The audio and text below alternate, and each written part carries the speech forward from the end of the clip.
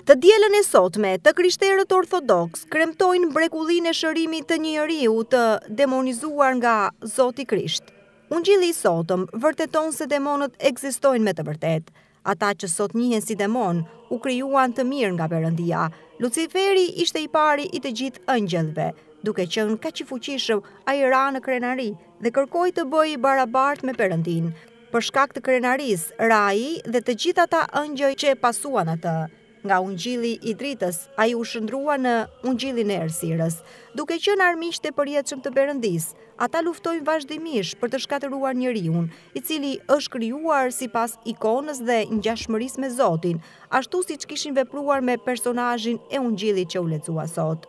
Perikopeja e Ungjillit që u lexua sot në të gjitha kishat orthodhokse bën të qartë se Krishti është Zoti i gjithëpushtetshëm dhe ka pushtet të padiskutueshëm mbi demonët. Ai i urdhëron dhe ata binden, ata kanë frikë dhe dridhen nga Perëndia. Zoti është gjithmonë i gatshëm të bëjë mrekulli me jetën e njeriut. Për ta bërë këtë gjë, duhet që njeriu të pranojë me liri dhe ndërgjegjje që Zoti të jetë pjesë e jetës së tij. Shumica sot e dëbojnë Zotin nga jeta e tyre. E njëjta gjë ndodhi edhe në Shqipëri gjatë persekutimit të egër komunist ateist. Sot jemi dëshmitarë se si u shkatërrua shoqëria jonë dhe individi në atë kohë. Por, përsëri Perëndia nuk e braktisi njeriun dhe i ofron hirin e tij transmetues e shpëtimtar.